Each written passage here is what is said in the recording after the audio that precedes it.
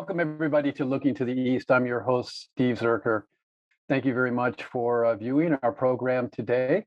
We have a very special topic that we're exploring uh, having to do with cross cultural living in Japan. Specifically, we're going to be looking at cross cultural relationships, marriages.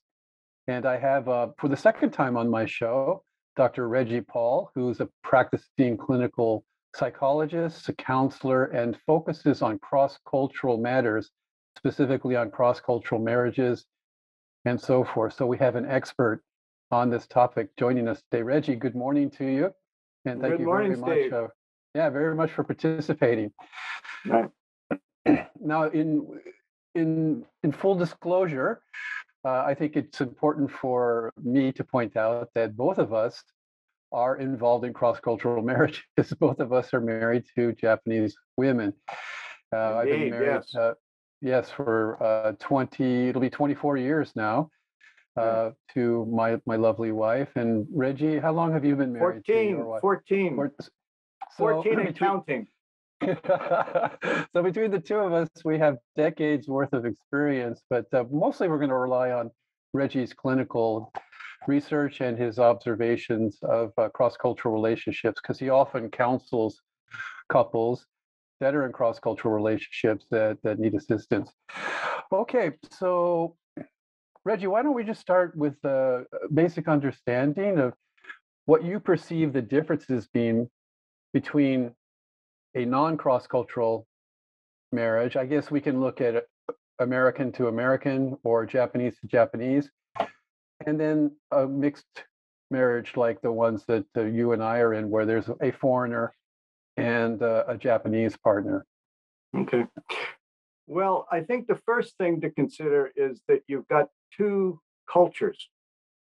When you have a cross-cultural marriage, you've got uh, you've got people coming from two different cultures.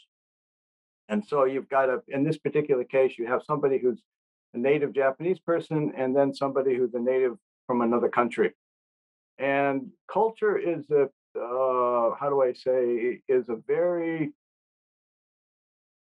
uh, nebulous thing. It's hard to say exactly what culture is, but um, you can see the effects of culture in a lot of different ways, and how the uh, uh, culture affects relationships, how people do relationships, is very much influenced by culture. Mm. Um, yeah. So Reggie, um, uh, when I, I lived abroad in Japan when I was a student, Yeah. so I went through the culturation process. right. and then later met my wife and uh, my future wife, and then we we got married. So I was somewhat aware of that. How aware do you think couples are when they begin dating? Let's say an expat comes to the Japan, or sometimes military people, because we have military marriages as well. How aware are they of these issues? My my, my sense is that they're generally not aware of these cultural profound I would impacts. ag- I would agree with that, and that's and part of the reason for that is because culture culture is something that you grow up within, but you don't you just learn it kind of by osmosis by being in the middle of it. You don't think mm. about it. It's not intentional. It just kind of happens, and so there's a lot of things that are part of culture that are just one culture considers normal, or just common sense, or it's just the way things are done or whatever, and then all of a sudden you go to a a different country where they have different culture and they do things differently. And so the result of this, and particularly when you get into a cross-cultural marriage, is that you have a lot of surprises, that you things that you don't expect because you don't you never think about it. It's just kind of ordinary in your own culture. So you Right. only find out these things a lot of the time in a cross-cultural marriage when something happens that creates some kind of a issue or conflict or something you're surprised about or whatever it is something you know there's a lot of different ways that it can come out Yeah. So marriage itself, um, you know, has its challenges. Clearly, it, it's not. If you look at it, Reggie, uh, I wouldn't consider it to be a successful institution because when it comes to Japanese to Japanese marriages, we were talking before we went on air Yeah. that the divorce rate there is 38% of the time. So if you bought a car and it failed 38% of the time, you know, it'd be taken off the market.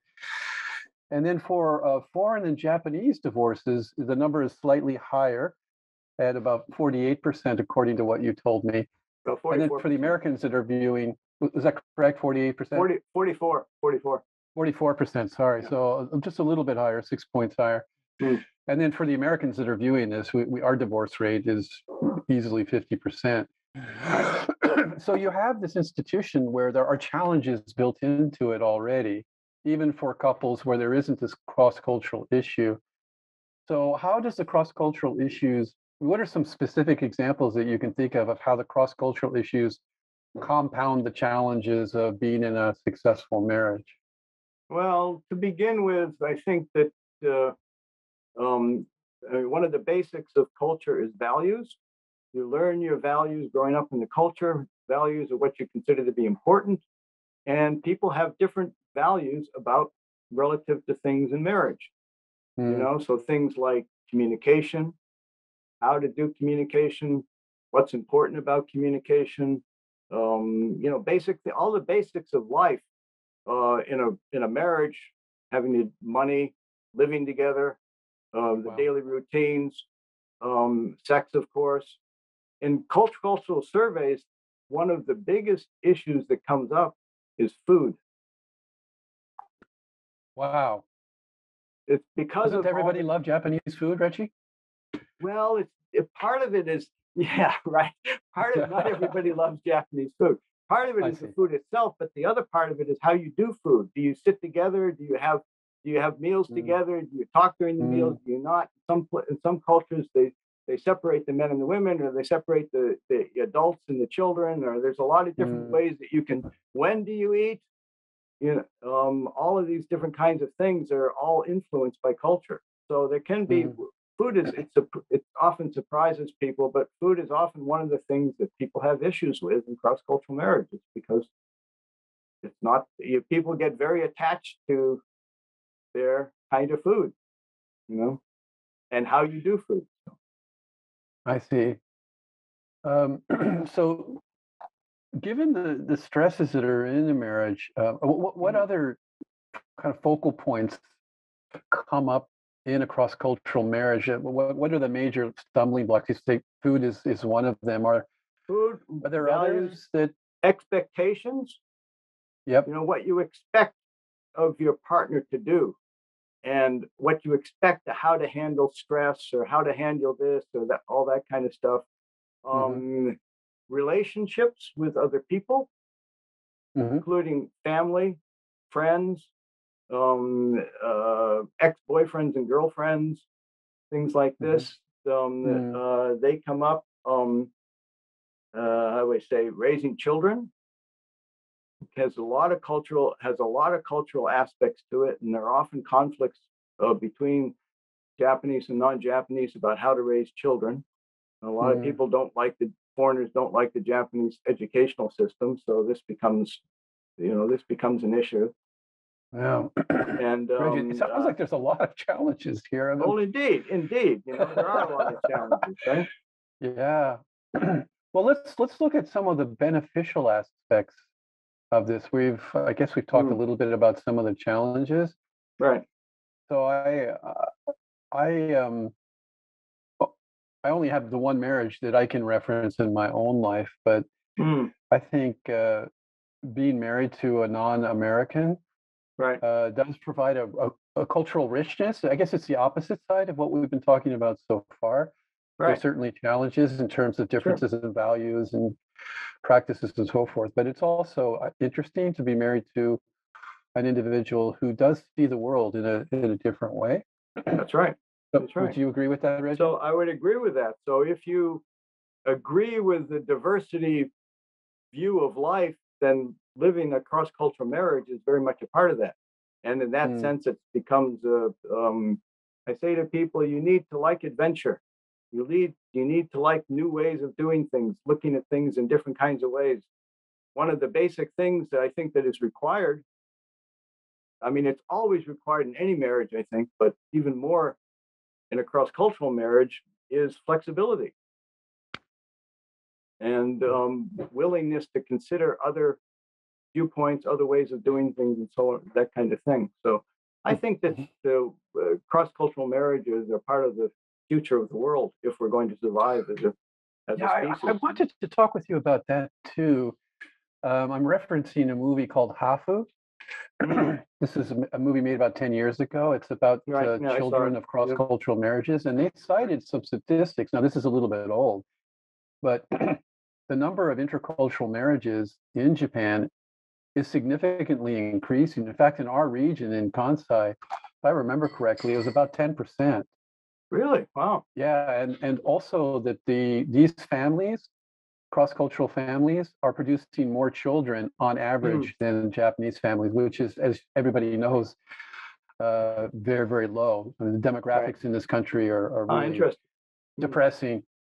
So why do you think that's happening, Reggie? Do you have any insight? Also, I- we we both taught at Kansai Gaidai University, which is a Mm. foreign language school. so we often saw uh, many mixed couples. You know, traditionally it's the foreign man and Japanese woman, but all that's changing too. I think you see more couples where it's the Japanese man and the foreign woman Mm. that are dating. Do you have any ideas on why cross-cultural relationships and cross-cultural marriages are becoming more uh, accepted or more popular in Japan now? I don't know if I have anything particular idea. It's just the way the world is going. You know, there's more interaction uh, Mhm. with other cultures and so on. The world is becoming much more, in spite of all the resistance to it in the world, the world is becoming much more interactive.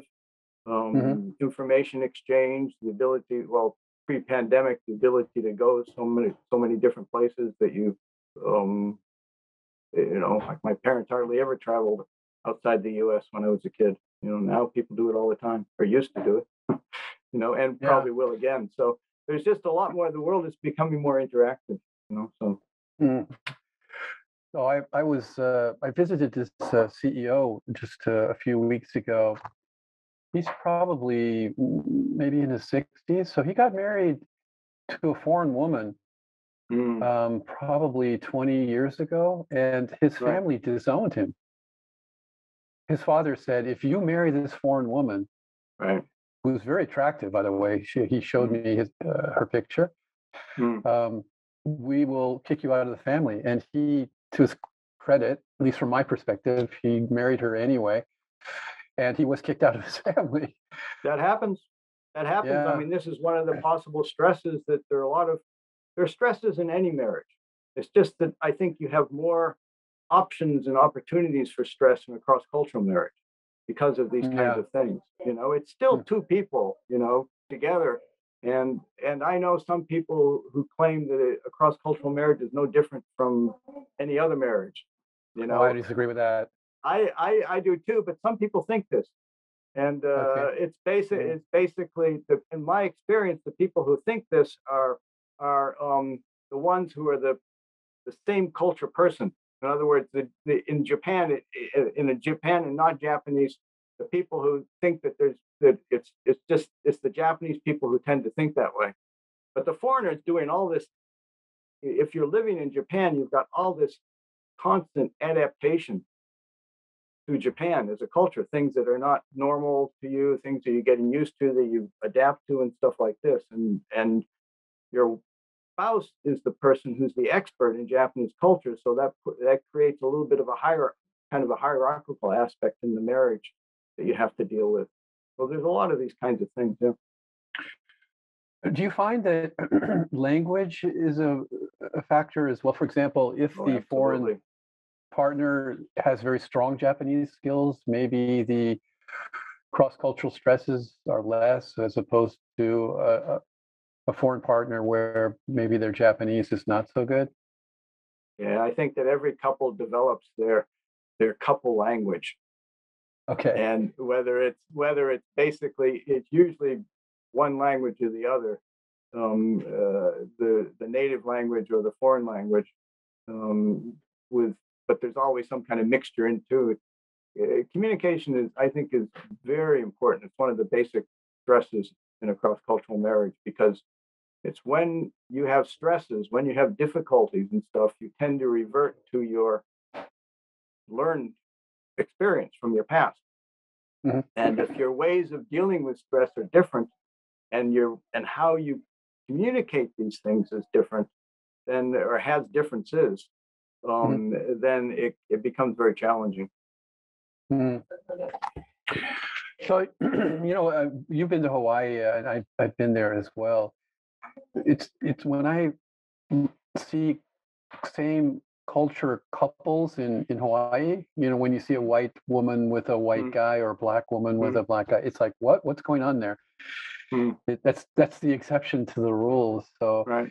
Hawaii has mixed culture marriages. I mean, that's that seems to be, from my observation, the common pattern. But then they're probably Americans, so even though they may be mixed ethnicity, they still have more or less the same cultural background, unless they're immigrants and so forth. So I guess there's the challenge of cross-cultural marriages in Japan, which would be much, much more distinct and stronger than as opposed to cross-cultural or cross ethnicity marriages in Hawaii. Well, the foreign, the person who comes from the foreign country has done some adaptation to American culture, you right. know, as well as as as a well as well as Hawaiian culture. So it's it, the the basis is different Mm. than um, than when you're having a cross cultural marriage in Japan or any other country.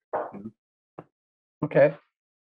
So let's say you have a couple that's uh, in therapy with you Mm. right now. How do you help them understand these issues, or, or maybe what advice would you give to people who are viewing this show that maybe are dating uh, a Mm. Japanese woman or, or a foreign woman or a Mhm. foreign man for that matter? Mm. What would you suggest that they think about or do in order to increase the chances of the relationship being successful if it's something that they're thinking about long term? Well, some of this is just kind of basic communication. You know, you need to you need to be able to express yourself as well as hear and have empathy for the other person's uh, position. So this is just kind of, I mean, working with couples, this is one of the basic things that I do, is that Mhm. I just it's just trying to be able to listen and say your piece and listen to the other person um, at the Mhm. same time, you know, which is a challenge. So this Mhm. is one of the this is a basic thing that I do when I'm working with couples. Part of it is just awareness. A lot of the time people get into these things and they don't think it's cultural. I mean, they Mhm. get into a they get into a um um a spat or something, you know, some kind of difficulty or whatever it might be, and they don't think it's cult they don't think it's cultural, just kind of they just it doesn't occur to them. Sometimes I'll point things out if I if I see things that are are cultural and so on. Mhm. Um, sometimes sometimes the cultural thing is is uh, um, is obvious, um, but uh, um, but basically I say that you need flexibility. You know, you have to appeal to the I kind of appealing to the kind of person you need to be to be have have a successful relationship. You know, you need Mhm. to have a diversity point of view, Mhm. um, patience, Mm. you need to try. Language ability is important. The more you can improve your language and the other person's each other's language, the easier it's going to be. Mm, okay. Um, you know, basics, basic things in in life like money, you know, and raising children, these kinds of things. Um, uh, Mhm. how you live on a daily basis, these these sort of things. You know, you need to uh, um, you need to sort these things out. I usually say to people that um, you need to meet in the middle. You have two people are, but this is true in any relationship. You have two people who have differences, and you've got to find that place in between in the relationship to meet in the relationship. And um, and that's what that's what people need to do. Particularly, there's I think there's you have it in any relationship, but in a cross cultural relationship, you have more of that. So uh, getting uh, back to the divorce uh, statistics, uh, they they do seem to be uh, a little higher Hmm. in the U.S. and also uh, with mixed couples, but uh, a little bit lower for Japanese Japanese. Although it's increasing. Reggie, I remember when the it was twenty percent in in Japan. So it's changed Wow. what over the last Wow. twenty years or so. So it's doubled almost.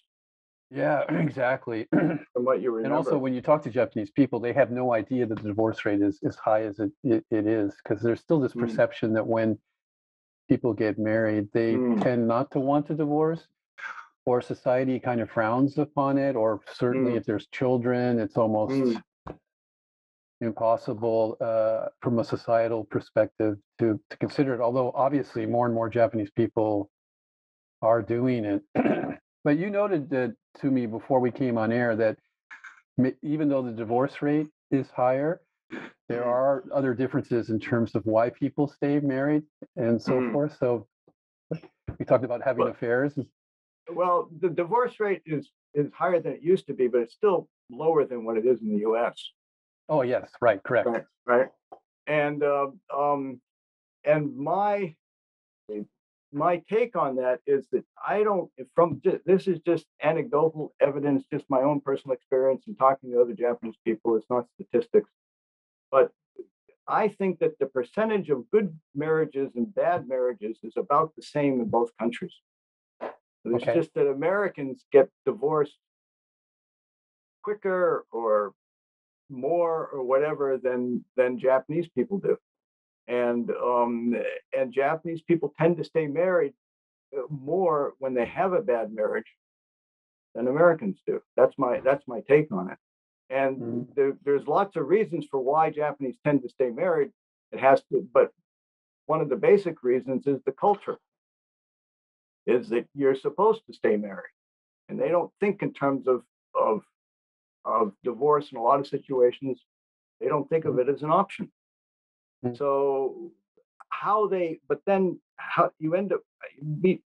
It's common for me to meet Japanese people who say, "I've got a bad marriage. I'm not my wife or my husband is blah blah blah," you know. And uh, but we never socialize together. We never do things together. I mean, it's like they have like a separate life outside the house Mm, and uh, um, and the res- one of the results of this, I think, is that the affair rate is higher in Japan than it is in the U.S. You mm. know, I have I don't have any statistics for that, but that's just my my personal talk. I've met more people who are doing this kind of thing in Japan than they stay married because they think they have to. That may tie into the defined gender roles that exist in Japan. You know, the role of a man historically is to work Right. and be a provider. And I don't Right. know if it's so true today, but when I was working in the corporate world here in Japan, men identified with their companies more than they identified with their families. That was for sure. Right. Like I'm Right. a Hitachi guy or I'm a Sumitomo guy. And women's role, uh, I think, is a cultural ten- tends to uh, enforce it is uh, as a mother and participating in the family. Again, that's changing because there are more women working, but still, those Right. stereo, those those cultural uh, patterns still are out there. So maybe this dual life that you're talking about is links to the definition that the culture is setting for what a man should do in society and what a female should do, a woman should do in society. No, I think that that's true. That traditionally, the basis of of Japanese marriages is is family and function. It's Mm. more of a. It's more of. I think it's more of a functional approach to marriage. Mm. You know, you do this roles and so on. You do this, I do that, and uh, um, whereas you talk to people in the in America in the West, and they feel like that the basis of a marriage is love. Often, that's one of the things that we'll say. I see. you know but you don't find that in japan. It's that's that's very even today that's rare. I remember once talking with a couple and the man told me all their problems and so on. And then at the end of it he goes well as long as we love each other we'll be able to get through all of this stuff. Hmm. and i turned to his wife and i said what do you think of that?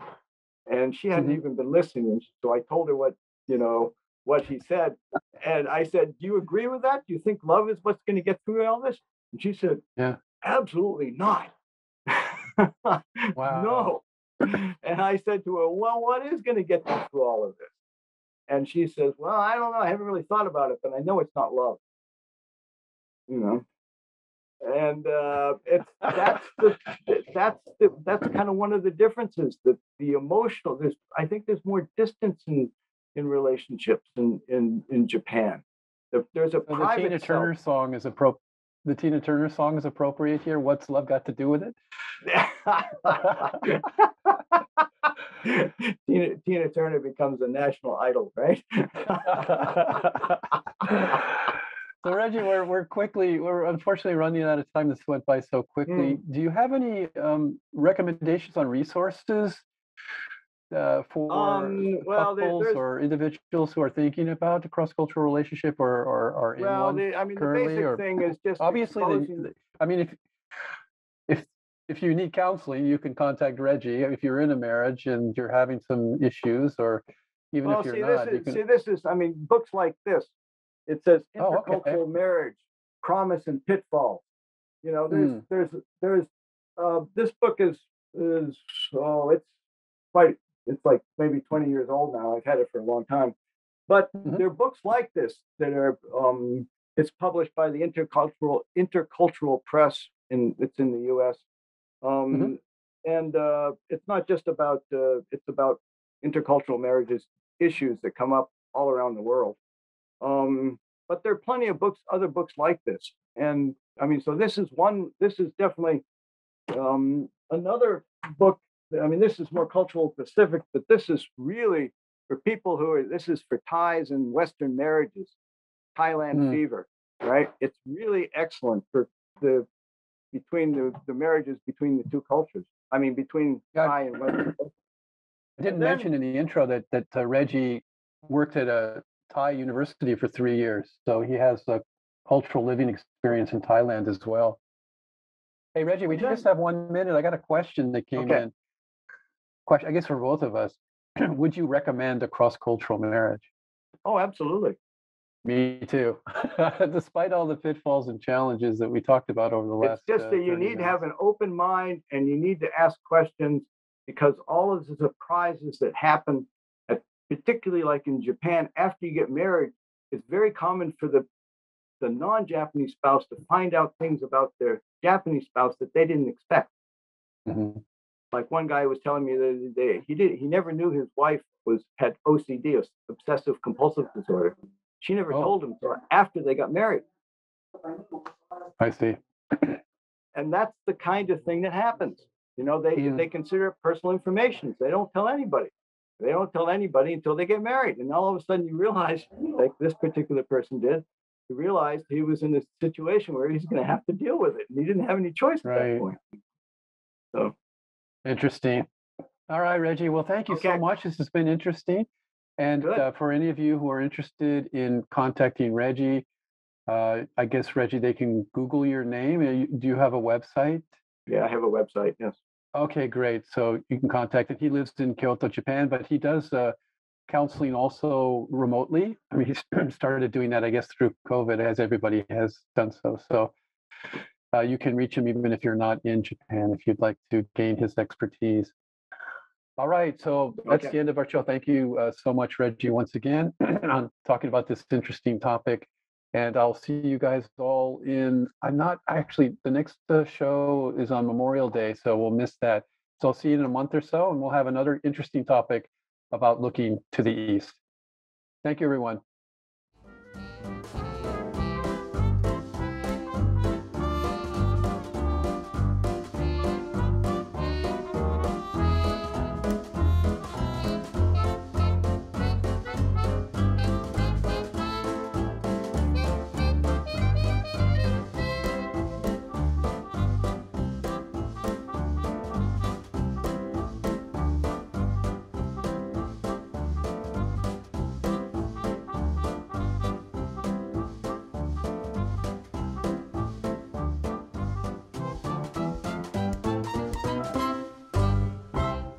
Thank you so much for watching Think Tech Hawaii. If you like what we do, please like us and click the subscribe button on YouTube and the follow button on Vimeo. You can also follow us on Facebook, Instagram, Twitter, and LinkedIn, and donate to us at thinktechhawaii.com. Mahalo.